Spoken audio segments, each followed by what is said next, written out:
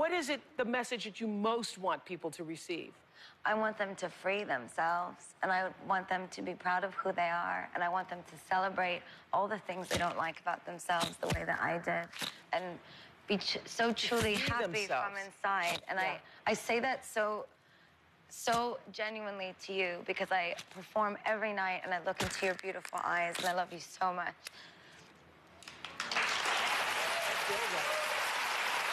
I feel that. I feel that. Because I know, I know how you feel.